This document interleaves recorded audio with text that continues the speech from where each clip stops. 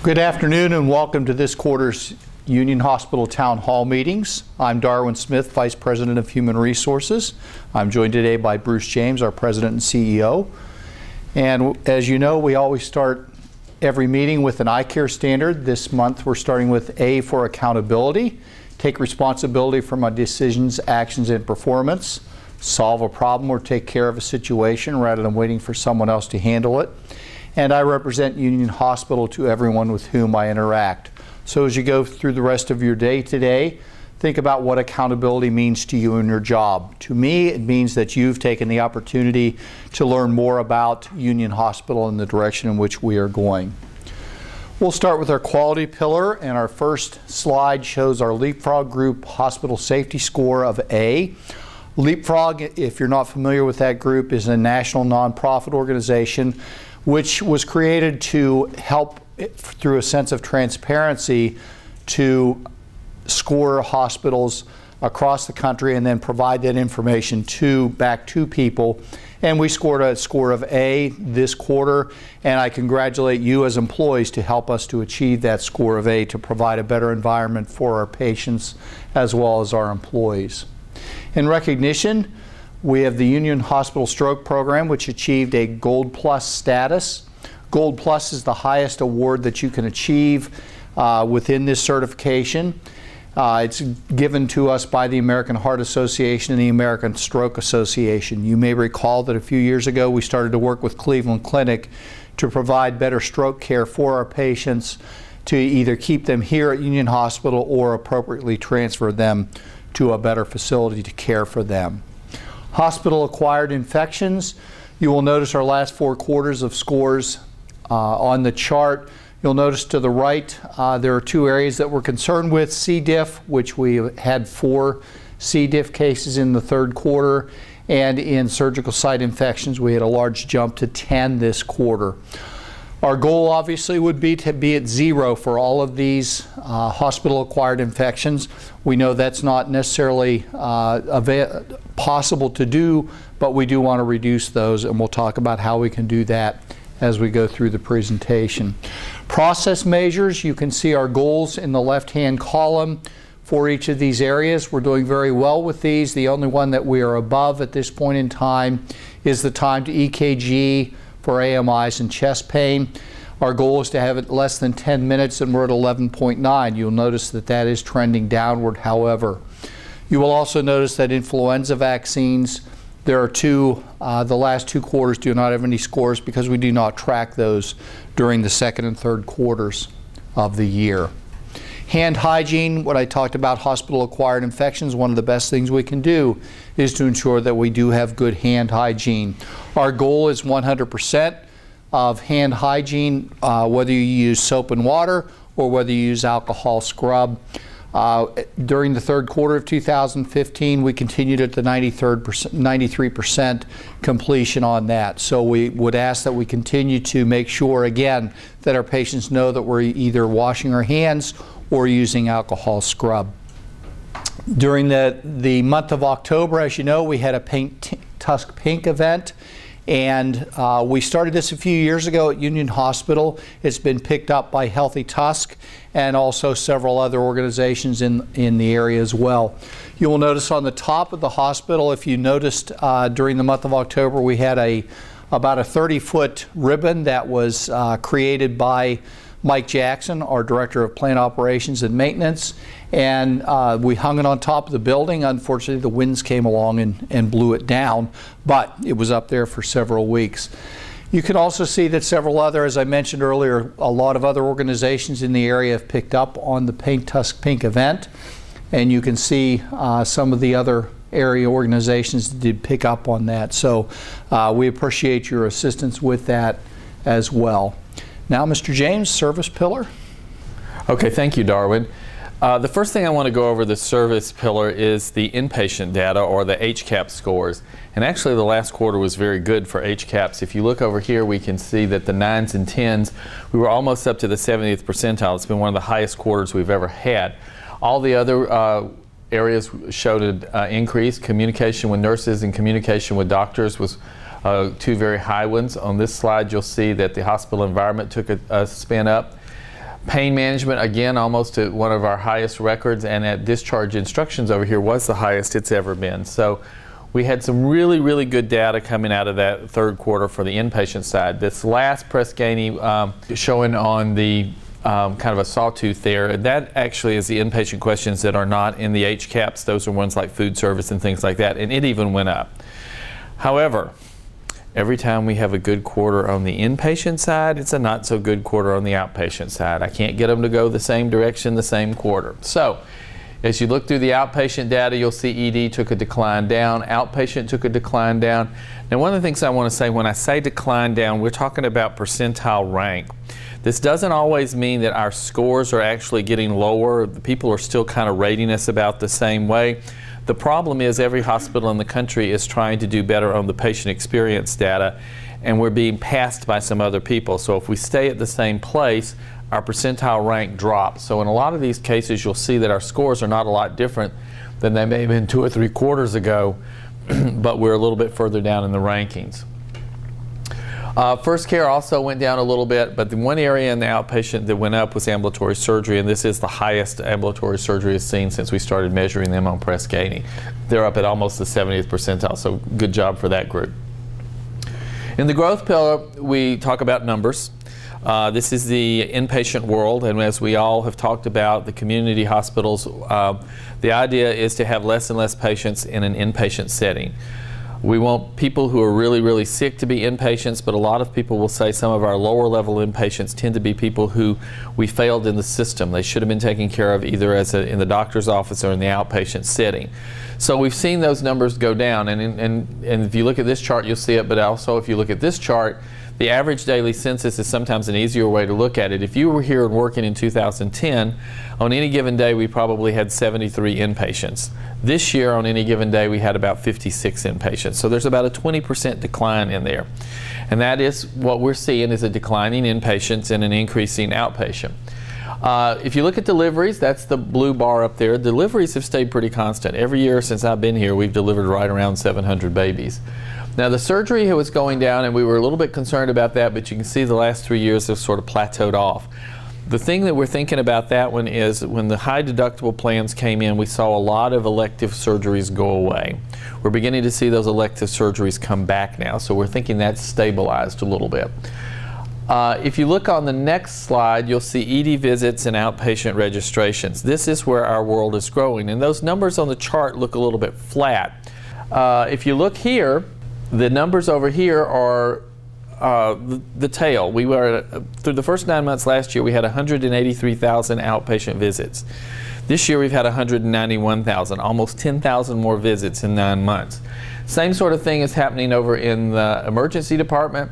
Last year they were at a little over 32,000. This year they're at about 33,000, so about a thousand more visits in the nine months. So while that data looks pretty flat, you're going to see it. Uh, continuing to increase. And that's the reason we're building a new ED. Uh, it's, it's coming along pretty well. If you can see here, the, the walls are up. Uh, we probably will start seeing patients in there either late February, early March. Um, now that's going to be the top floor where the, where the patient care is going to be delivered.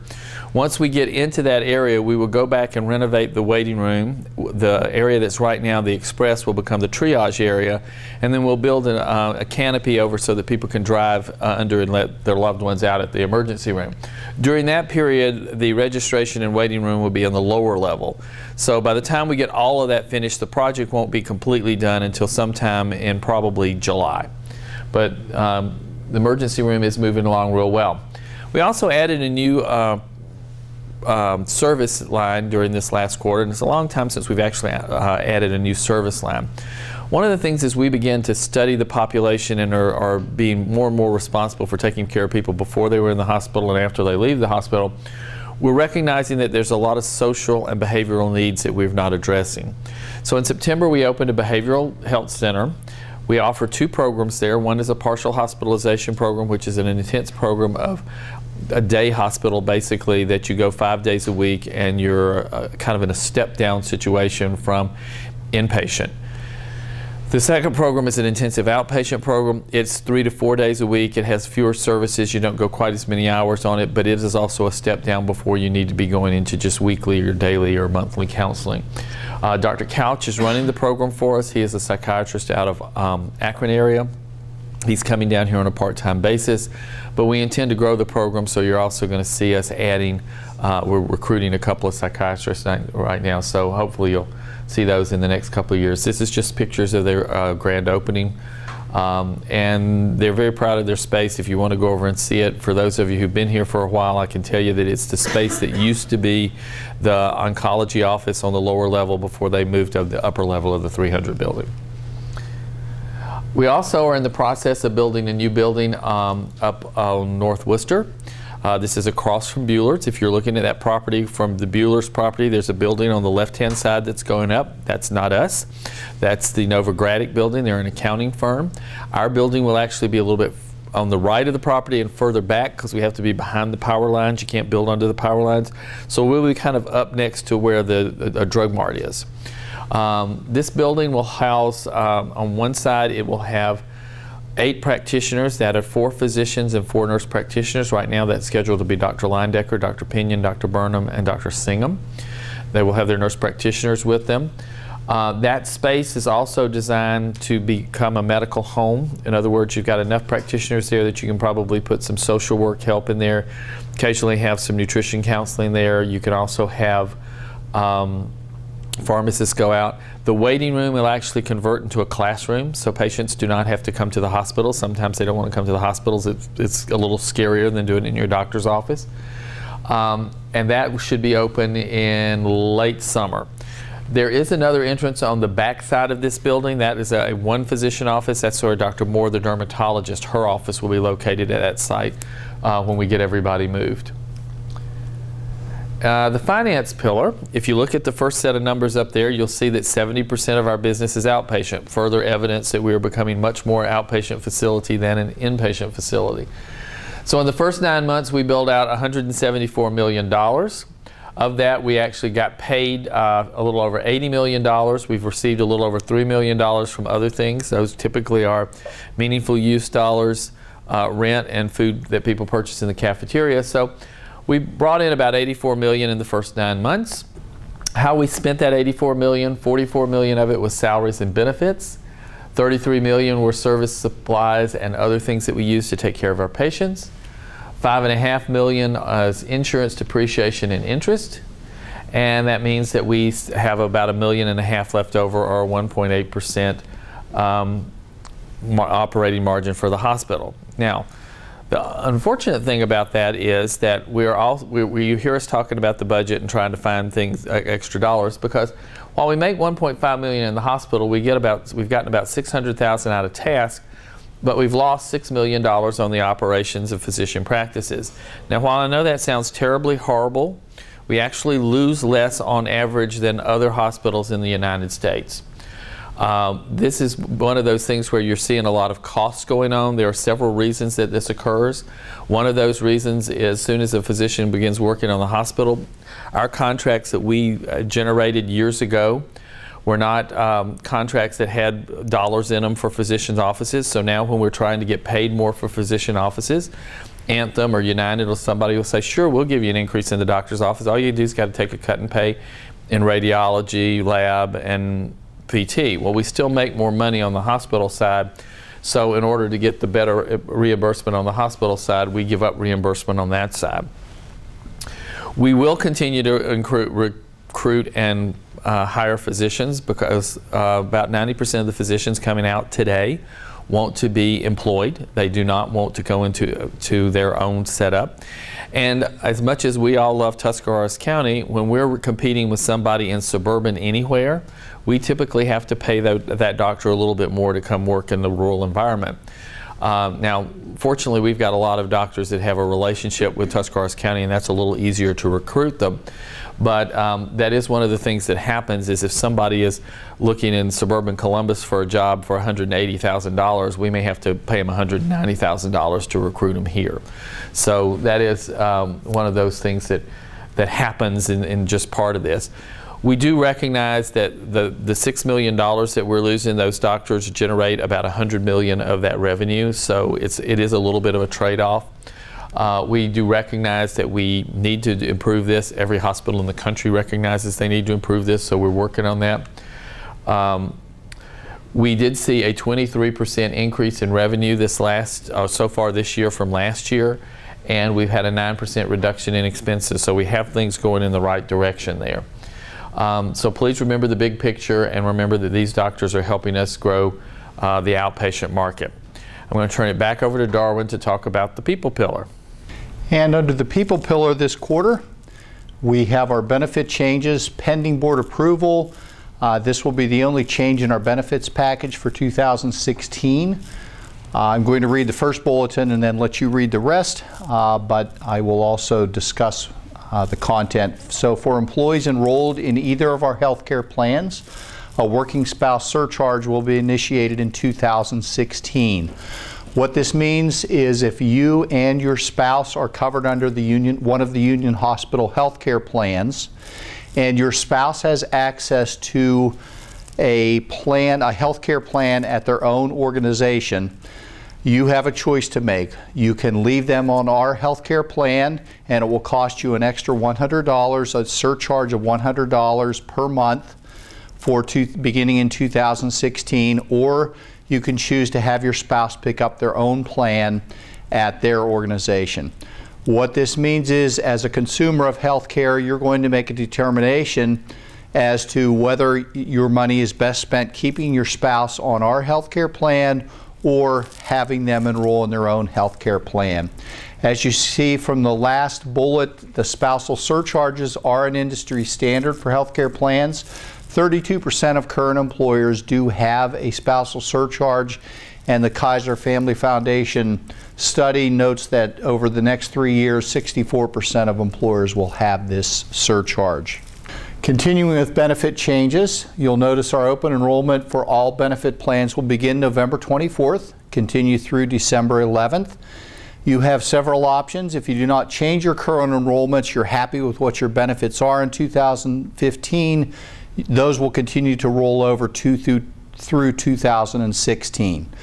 One requirement that we do have from federal regulations, which states that if you have a flexible spending account, if you're enrolled in the 80-20 healthcare plan, you will be required to sign up for uh, new deduction under that plan, and again, that's a federal requirement.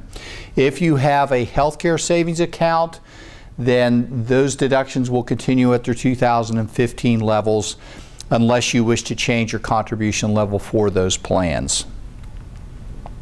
As you know, during the month of October, we have our annual Employee Service Awards. We note here the uh, recipients of the 25-year award. Uh, we also had nine others who obtained the 25 years of service to Union Hospital. 30 years, you can see uh, those who achieved 30 years of service. Not pictured was Julie Mason. And for 35 years, we had Gary Crowthers, Meg Kreitz, and Sandy Ickes and 40 years, you'll see Sue Liberator, as well as Sylvia Mastelorini Ray and Sherry Strickmaker, who also achieved 40 years of service. And last and most importantly, Paul Miller, who achieved 45 years of service in our plant operations and maintenance department here at Union Hospital. In addition to those recipients, uh, Tom Patton, who works in our union, uh, worked in our Union Hospital outpatient uh, pharmacy, retired this year after 43 years of service to Union Hospital. This is a picture of Tom at his uh, retirement reception, and Tom loves us so much that he is already back as a volunteer at Union Hospital. So, in summary, you will notice uh, we like to summarize what we discussed today, our leapfrog grade of A, as well as our stroke rating of Gold Plus. We had Paint Tusc Pink, which was a great success in the community. Our hospital acquired infections increased, and we need to continue to improve to meet our goals in that area. Our HCAHPS improved. Unfortunately, our outpatient Press Ganey scores did not improve. And our inpatient volumes continue to decline while our outpatient volumes increase, which continues with uh, where, we, where healthcare is moving today. Our new behavioral health center is open in the 300 building here on the campus. Our third quarter financials show that we are losing money on a consolidated basis. And benefit changes are coming, so please attend one of the sessions on benefits. And we also celebrated many years of dedicated service to Union Hospital. Uh, Under upcoming events, we have the Auxiliary Christmas Tree Festival. This is the largest fundraising uh, event of the year for the auxiliary. It will be held at Warther Carvings. It starts on November 20 14th and goes through the 22nd of this year. And lastly, I want to remind everyone that we do have the employee engagement survey uh, going on currently. You are required to uh, log in with your employee number. However, please know that it is a confidential survey and we do not receive uh, back any information in regards to individual survey results. So please consider participating in that survey. And lastly, please make sure that you complete your questionnaire and fill out a ticket to enter the drawing for a $100 gift card.